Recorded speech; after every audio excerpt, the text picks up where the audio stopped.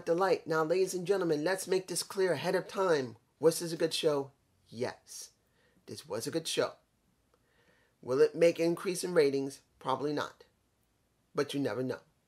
Now, the reason I'm bringing this up is because of how different you see AEW compared to Impact Wrestling and NWA's pay per view of Back for the Attack. I'm sorry, you see it, you see the better camera work. It is vastly superior.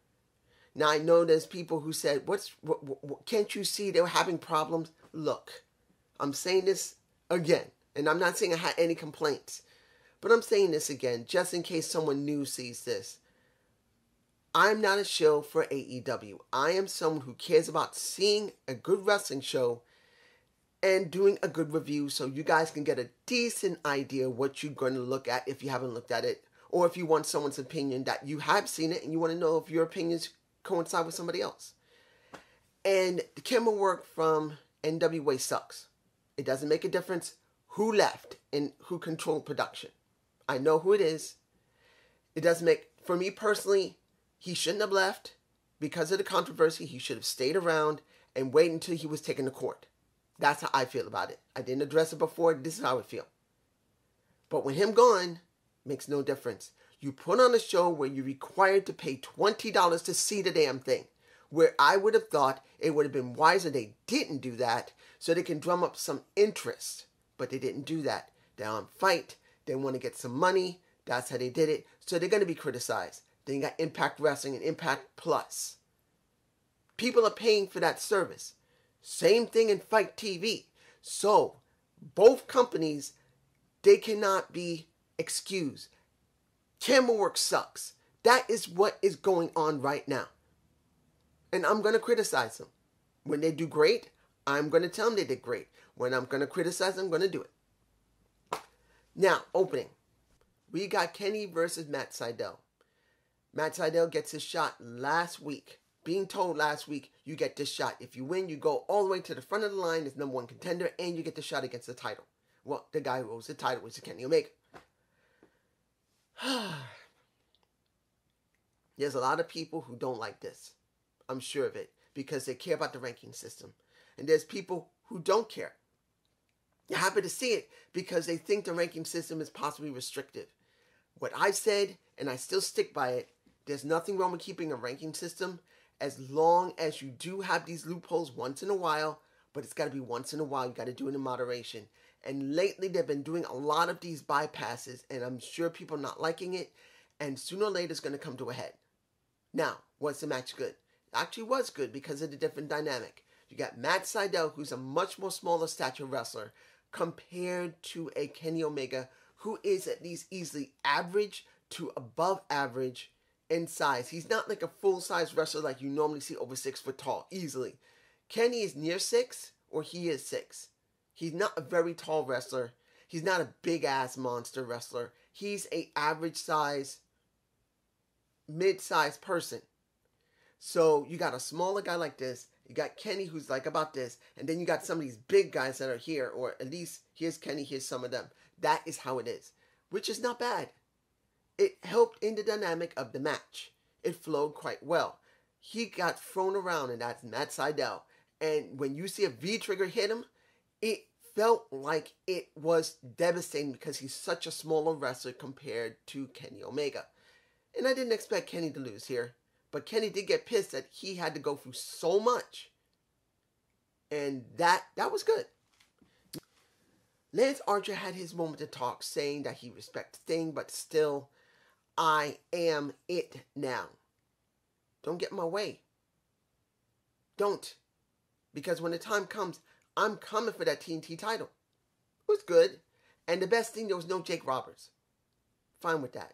That's the way it should be. Now, Kaz and Christian have their moment from Impact Wrestling. Kaz uh, confronts Christian saying, So when are you wrestling? You want to wrestle me? Pretty much that's what he was saying. And now we got a match next week, which is fine. That's actually a good thing since Christian needs like someone that he can really deal with that he still remembers when he used to wrestle. Kaz is a good choice. Both of them been in the business almost the same amount of time. So that's not a bad thing. In fact, they could start a feud from that, and that wouldn't be a bad thing, particularly once Christopher Daniels gets involved because he was dealing with Christian Cage as well. He can go through Kaz, he can go through Christian Cage, and then he can go through all the other people. Now, we got Team Taz having their moment.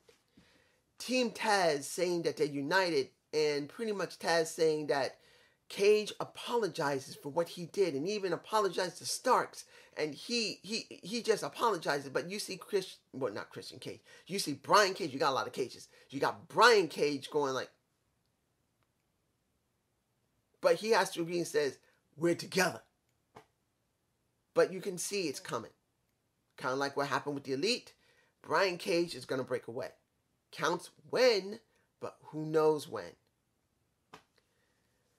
Um, the Pinnacle versus um Martin from Top. I'm one of the uh, Major Brothers. No, Martin Brothers, not Major. I'm thinking about somebody else. The Martin Brothers. I can't remember Dion. I think that's the one's name. I am bad with names, guys. If you say I'm not a fan, I am. If anyone knows me, you know I'm bad with names. Flat out bad, especially if you don't see them often. And you got the Varsity Blondes. Now, the person love you know who I like in the Varsity Blondes. That is Brian Pillman Jr. I'm hoping he gets somewhere soon. But you got FTR and Spears going up against them. It was a decent match, but I did not expect the Varsity Blondes to win here. They got destroyed. And then you got Pinnacle cutting a beautiful promo, making it very clear that the inner circle not only is done, where are they, the cowards? And then Schiavone trying to defend him, but then you see a very determined to prove that he is the boss of the pinnacle in an, an MJF to a, Tony Schiavone saying, You want to say something? And Tony shuts up. Perfect. That's the way it's supposed to be. And we're going to move on. Um, let's see here. QT Marshall. I look. If you saw the interview, it is obvious he wants to break away. He won't say it. He said he just wants to be respected as as not just a friend of Cody, but an equal, just as good as Cody Rhodes, introducing his wife. Beautiful woman. He asked Cody to come out, even though he didn't think he was going to come out, and he wants an exhibition match. Cody did come out, and he said, Look, if this is what you want, fine. You want a match? Fine. But I'm going to let you know right now I'm not giving you a disaster kick. I am not going to give you Cross Rhodes. I am not going to be rough with you. And Arn can be the ref. This is how it's going to go. If you want a real exhibition match just to show how great you are, fine. Look, I'm not the be all, be all end all, but you have done a lot for this company. And I'm willing to do this for you. But this is an exhibition match, this isn't a real match. So that's what he wanted.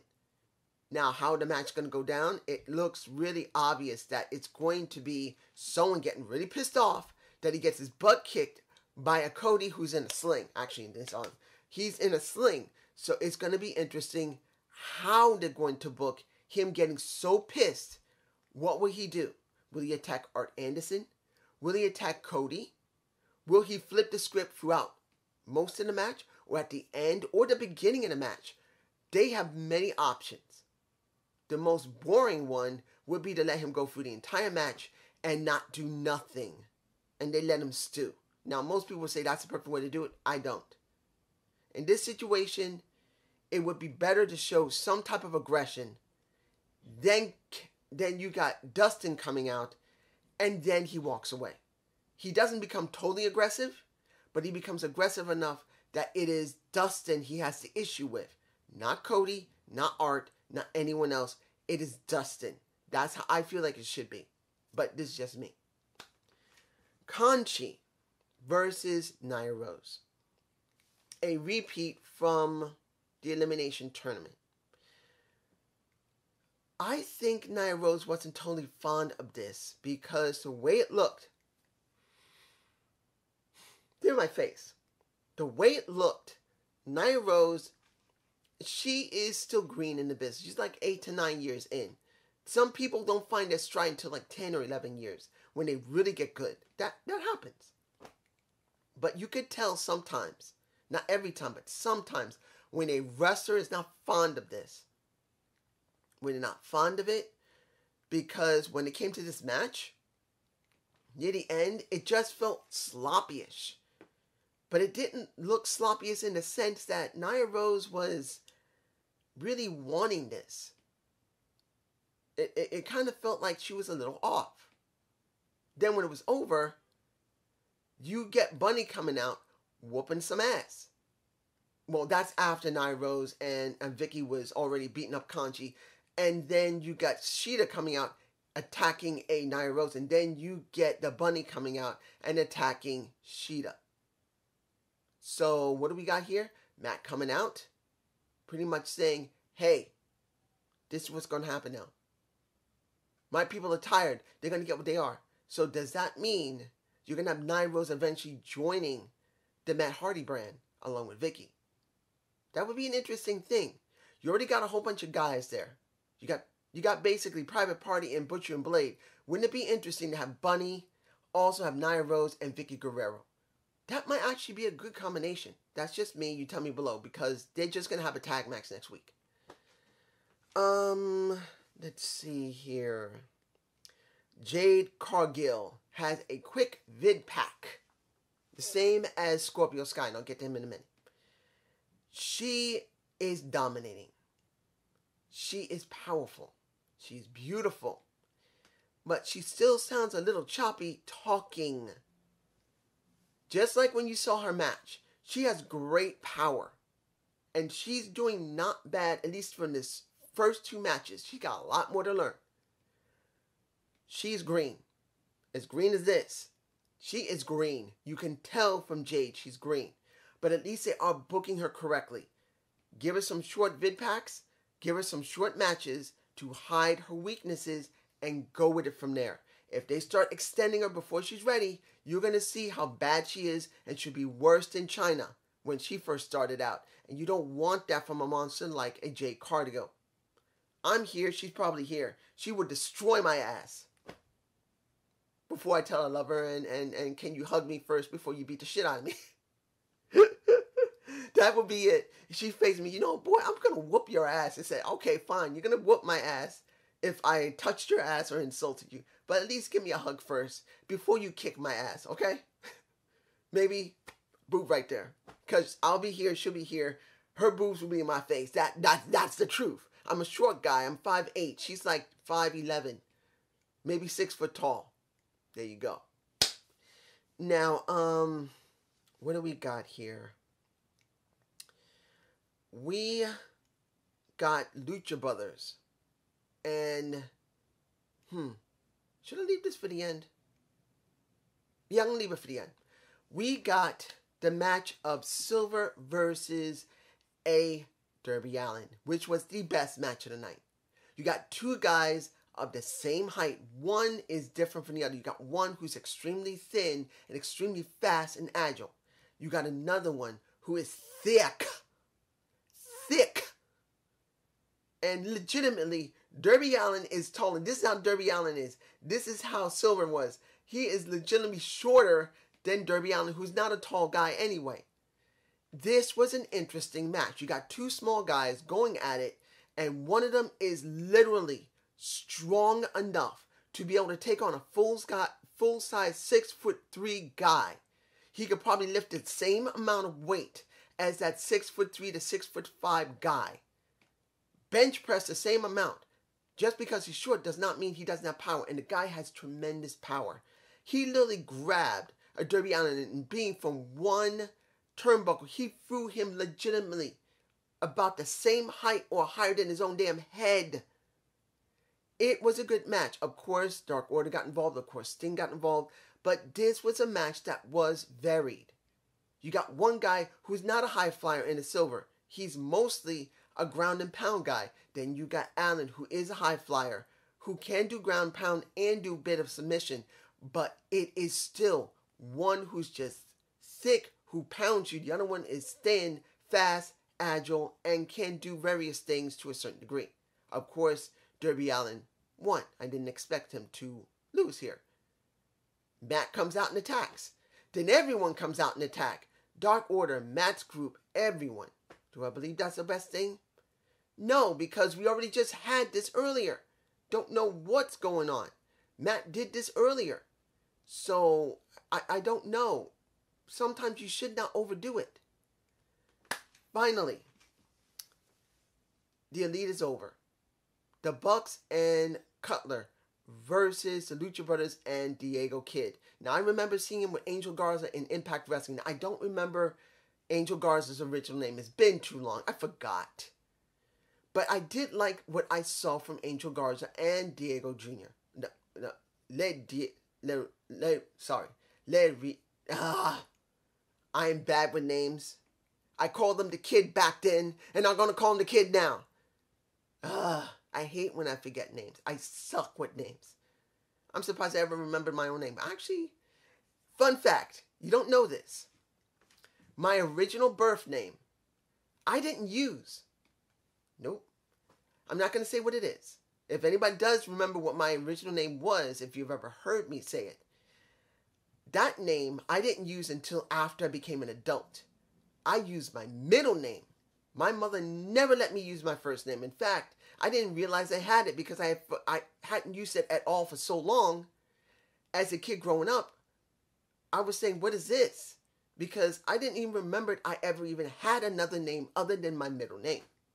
And I used it until high school until someone called me to the office and said the original first name and I said I don't know who that is.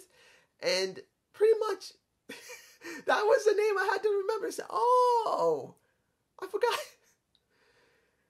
But in this situation was it a good match? Yes.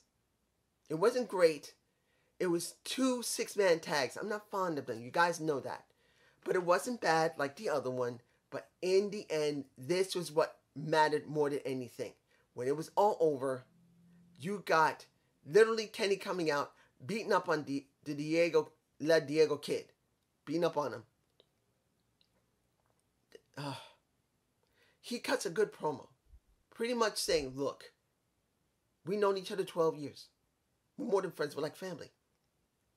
I could have gone off to greener pastures, and I could have ended my ass off inside of catering of a cafeteria. But no. You know what I chose? I chose you two. I chose both of you and helped to create this promotion that we all thought about for three years. And yes, I understand you've been having problem with Don. Yeah, I don't agree everything with Don. I know you don't agree with him, and I don't agree with everything that Don says. But he was right. What are you? Who the hell are you? And who am I to you that in this match you didn't even bother to call me. You called Cutler. Not me. You called him. I thought we were family. Now I'm giving you one last chance. They refused. He begged them, almost begged. They refused. Then there was a scuffle. Kenny gets hit in the mouth with a mic. And the Lucha Brothers basically give him something to remember. And now we're done with the elite. And am I happy to see the elite over? Actually, I am. They were the first, they were the, not the first of the inner circle. The inner circle is the first faction made for AEW, but the original faction that started AEW was the elite. But look how it is. Hangman Page working with Dark Order. Cody has the Nightmare family all on his own. And the only ones that were left was Kenny and the Bucks. And basically, Kenny's gone off with the Good Brothers to recreate the Bullet Club. So there was no elite. There was only Matt and Nick. There was no point in keeping it. It was time to end it. The original faction that started AEW finally has ended. And it's good to see that because they needed to do it. It was time. Now the question is going to be how far are they going to go with this? Because if you remember seeing the Mox and the King, and now you got Kingston leg in a cast, and Mox spoke very simple. I don't know the Bucks. I don't care about the Bucks, but they saved my butt. I don't like owing anybody, so I gotta thank them. But you guys better understand something.